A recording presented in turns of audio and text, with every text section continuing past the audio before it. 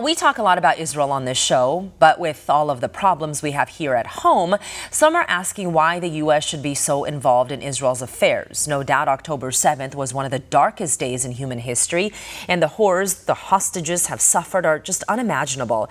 But for many Americans, finding it difficult to make ends meet, struggling to put food on the table and fill up the gas tank to get to work, they may be asking why should Washington be focused on Israel's war? Prime Minister Benjamin Netanyahu called it a war on civilization because we see so many around the world supporting Hamas including here in America. These are people who support a terrorist organization that hates America, not just Israel.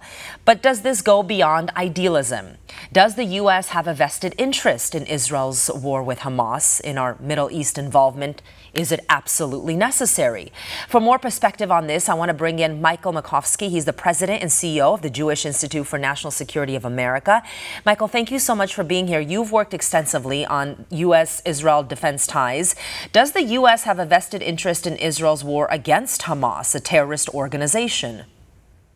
Yes. First of all, thanks for having me, Stella. I um, we certainly do. Look, I unless you you believe that America could survive by just uh, you know closing our borders and uh, ignoring the rest of the world completely, uh, which I don't. Uh, the world will find us, even if we don't really want to interact with the world. One of our, I do believe we need to have closed borders, though and actually it does get to the issue what's going on in the Middle East. Uh, one of our most important regions strategically, historically, has been the region, partly for oil, but also because Israel has been such an important ally of the United States. And I think really um, it's it's not just they're an ally; they're really integral to the, what America wants to do in the world. They're on the same side. They're viscerally tied to the United States. In our, we have the shameless have the same ideals, the same strategic goals, I believe.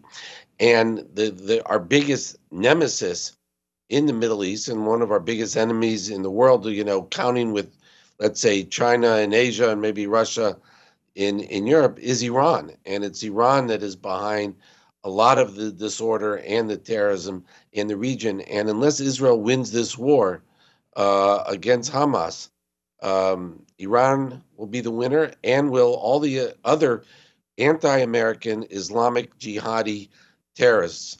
And I think that would be terrible for the United States and our interests. For all our viewers asking where One America News is heading in the future, we would like to introduce you to OAN Live.